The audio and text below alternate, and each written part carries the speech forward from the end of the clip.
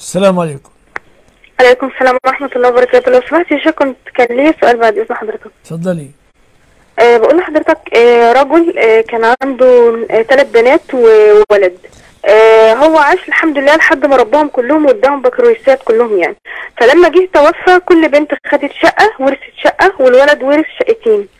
أه بس البنات اكتشفوا بعد كده إن إن إن أبوهم كان كاتب لأخوهم من هو عنده أربع سنين إن إن في شقة ومحل تقول لهم تقول لي بعد وفاته وصية يعني ولا إيه؟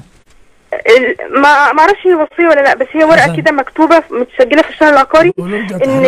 الشقة والمحل دول تقول لأخوهم بعد وفاته آه، يعني آه، بحجة يعني إن إن الأولاد لما بيخرجوا آه، بعد ما بيخلصوا تعليمهم يعني ما الحمد بيلاقوش لله شغل وكده والصلاة والسلام على رسول الله وبعد قال رسول الله صلى الله عليه وسلم فيما صححه عدد من العلماء إن الله أعطى كل ذي حق حقه فلا وصية لوارث.